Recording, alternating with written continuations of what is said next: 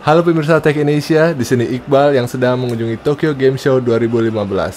Pada kesempatan kedua di, di Indonesia Game Studios, saya mencoba game touch 10 terbaru yaitu Target Acquired yang katanya sih akan segera dirilis dalam waktu dekat. Game yang dulu didanai lewat Kickstarter ini sudah tampaknya sudah menjadi produk jadi. Saya bisa memainkan aksi Endless Runner bercampur dengan shooting yang mengingatkan saya pada Rockman. Kontrolnya pun mudah, saya hanya perlu tap di sisi kanan untuk menembak dan tap di sisi kiri untuk uh, melompat.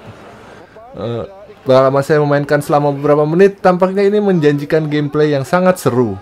Jadi semoga saja nanti ketika dirilis, uh, pengalaman yang saya rasakan akan menjadi lebih seru lagi.